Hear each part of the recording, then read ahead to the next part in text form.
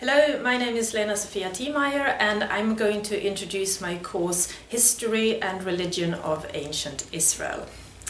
As you can hear from the title, what we are going to do in this course is to look at what really happened historically in ancient Israel and what did the ancient Israelites actually believe in. Our main source of information is, as you can guess, going to be the Hebrew Bible. But the Hebrew Bible is not really a history book. So we're going to examine the Hebrew Bible and ask questions that maybe we were not really supposed to ask of the Bible. What actually happened at this time? What did the people believe in? It may come as a surprise to you that when I say that the Bible does not portray a people that believed in God. On the contrary, the prophetic authors, for example, are constantly accusing the people of ancient Israel of believing in all kinds of things. We are going to examine the claims of the Hebrew Bible and we are going to compare it with other types of material, other types of evidence that we have from the ancient world. We are going to look for example, at archaeology. What can archaeological artifacts tell us about what happened in ancient Israel and what did the people of ancient Israel believe in? We are primarily going to look at texts and in English translation, I promise you. And we are also going to look at archaeological artifacts such as inscriptions and altars and figurines and the like. So why should you take this course?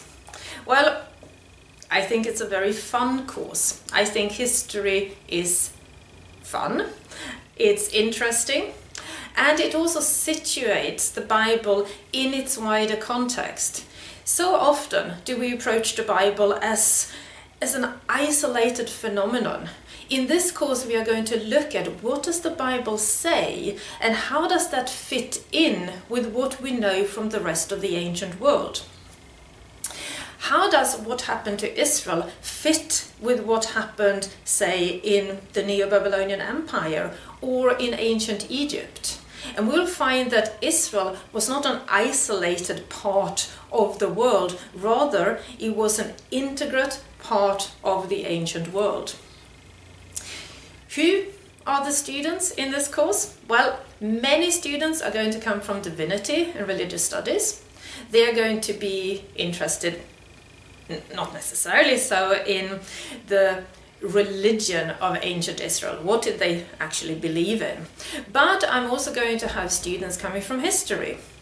And in particular for history students, this course really fills a gap because although we have many courses in history at the University of Aberdeen, this is the only course that looks at the second and the first millennia BCE in the Levant, that is ancient Israel, ancient, mm, ancient Aram, etc.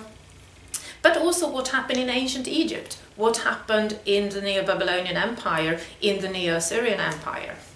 So I would very much recommend this course. Of course, I'm the course coordinator. It would be odd if I didn't.